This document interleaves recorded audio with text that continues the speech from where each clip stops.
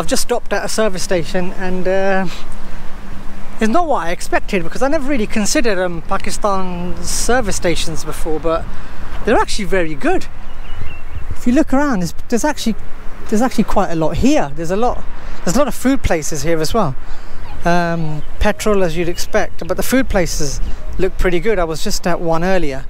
Um, I mean it beats um, Watford Gap I guess and Leicester Forest East on the M1 which I've been to many times but definitely something um, different. Never really considered um, filming a service station before but I just thought I'd see the difference between what we have in the UK and what there is here.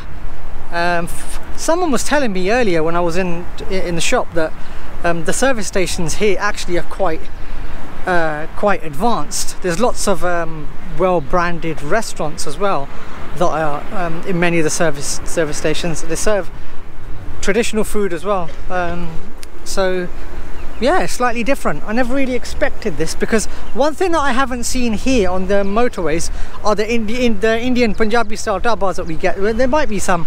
Maybe I haven't ventured uh, in the areas where they are. But these service stations are pretty good. Lots of parking lots of space. And from what I've seen the shops are pretty good as well so certainly something different. Service station. Filming a service station. That's what life has come to I guess. But it's something um, totally off off off path I guess. Uh, I just want to have a little look around. What else there is here? But I guess there's the restrooms there as well. So yeah slightly different. I think there's a mosque there as well. Uh, there's a hotel. It's quite a lot. There's quite a lot going on quite a lot of activity here. I see the um, petrol attendants looking at me. Yeah I think they're interested in what I'm doing. I think that's what happens when people see a camera. A lot of them want to be on it. A lot of them want to be filmed. I can see one looking at me. I think he wants to come over. Actually I'm going to make my escape. And make sure I get out before he traps me and asks for a selfie. That's the main craze that I've seen over here let's just go into a shop.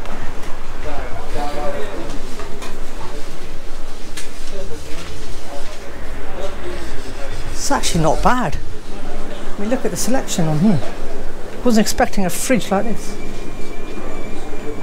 It's got all the usual suspects. It's got all the usual suspects here.